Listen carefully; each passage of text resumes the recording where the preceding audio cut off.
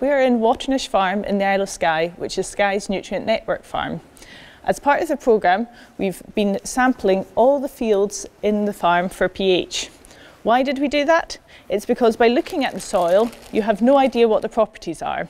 So what we have to do is we use a soil corer and we take lots of subsamples in a W shaped of the field and then we mix that together and then we send a, a bag full of soil, a bit like this, to the laboratory in Edinburgh. Now, the type of soil you have will have an effect on how what pH is the optimum pH for that uh, soil to have. So if your soil is very peaty and it has a pH of 5.7, you don't need to add any lime to that. However, if you have a mineral soil and at the same pH of 5.7, you would want to add about uh, 6 tonnes per hectare of lime to that to get it to the optimum pH. Uh, however, if you had sandy soil, you would only actually need to lime, uh, add four tonnes per hectare of lime to that uh, field, but you would need to lime it more regularly than the mineral soil.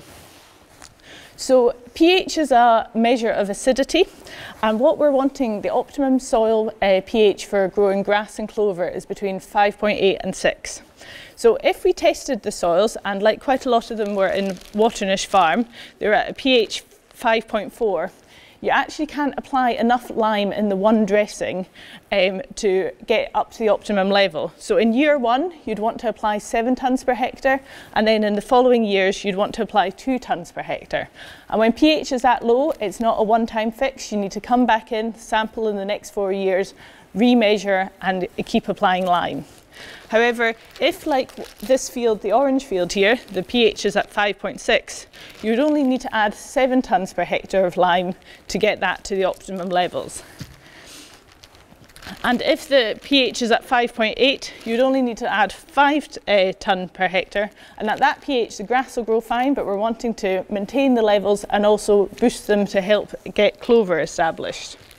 So depending where you are in the country, there's various uh, liming products you can use. If you're in the Outer Isles, they have various shell sands. This one's from Uist and these two come from Lewis. Um, in other parts of Scotland, quarried lime is uh, an important product and these can be more magnesium limes or calcium limes.